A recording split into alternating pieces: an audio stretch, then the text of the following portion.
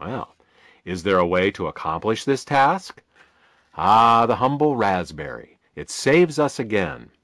That same ellagic acid compound we get from the raspberry that keeps the viruses from entering our cells also causes the DNA of bacteria to unspool. It turns out that all bacteria use an enzyme called gyrase to keep their DNA coiled, and ellagic acid inhibits this enzyme. Unlike antibiotics that only work on specific types of bacteria, Ellagic acid inhibits all types of bacteria. Furthermore, since gyrase is not a human enzyme, inhibiting it is harmless to us. Now let's turn our attention to fungi and yeast. When people are infected with these microorganisms, they are literally molding, like a piece of bread or cheese left in the cupboard too long. Molds have been only a minor annoyance in the past 50 years, limiting themselves to ruining grain harvests and the occasional toenail infection. But times are changing. Toxic molds now commonly colonize houses and work environments, getting into walls and ceilings and ventilation systems. These molds can then transition into our lungs, where they may be impossible to eradicate. Chronic intestinal, fungal, and yeast infections are also on the rise.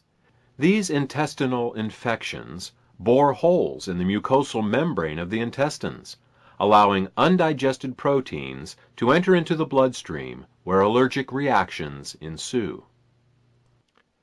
Modern medicine has antifungal and anti-yeast medications, but the problem is that many of these are toxic to the liver and other organs.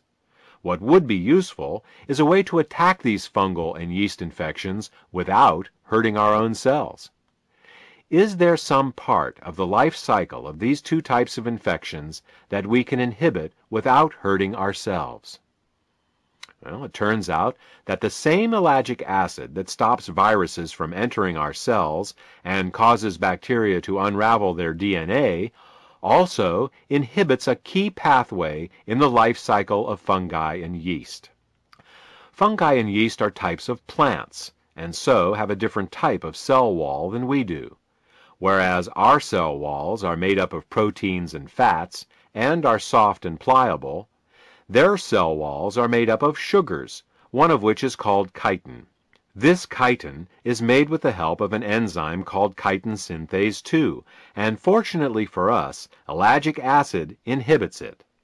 Without the ability to produce chitin, fungi and yeast cannot grow or reproduce, and given time, will die.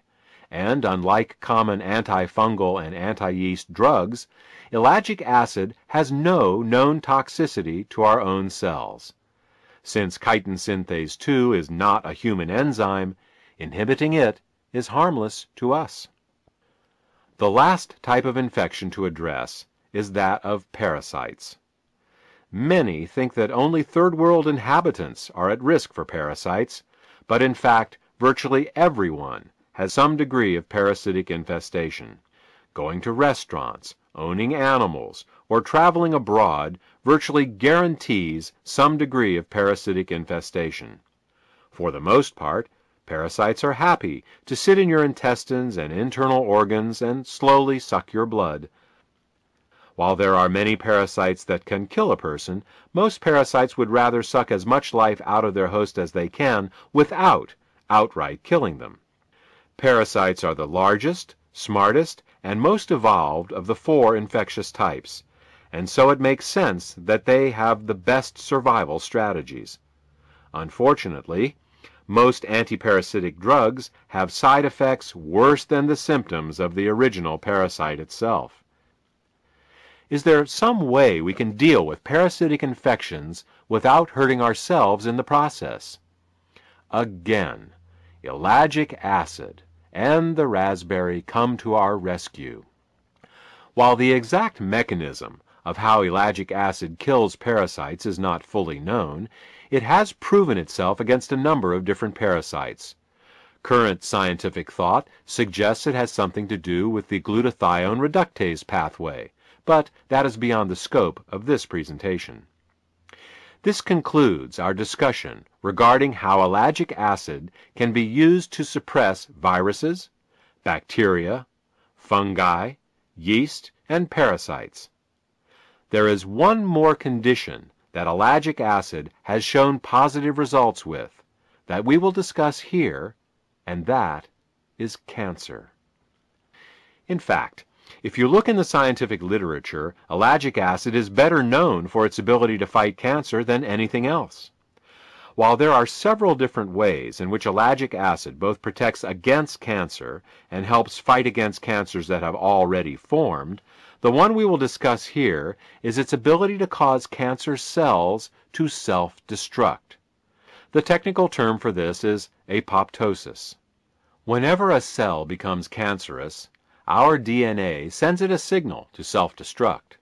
This is one of the most powerful safeguards we have in preventing cancer, and it works the majority of the time. Unfortunately, it only takes one cancer cell capable of blocking this signal for a tumor to form. It is specifically those cells that are capable of overriding the self-destruct signal from the DNA that continue to grow and eventually form tumors. What ellagic acid does is to powerfully reinstate the self-destruct signal in cancerous and precancerous cells. Unlike chemotherapy, which damages healthy and cancerous cells alike, apoptosis or cell self-destruction only applies to cancer cells and other damaged cells that are no longer useful or safe to have in the body. There are other ways in which ellagic acid supports the body in dealing with cancer including protecting our DNA from mutagenic chemicals, causing the growth cycle arrest of cancer cells, and protecting the cellular regulatory gene P53, but again, these are beyond the scope of this presentation. Ellagic acid is truly a remarkable compound. It inhibits viruses, bacteria, fungi, yeast, and parasites. It helps support the body in its fight against cancer.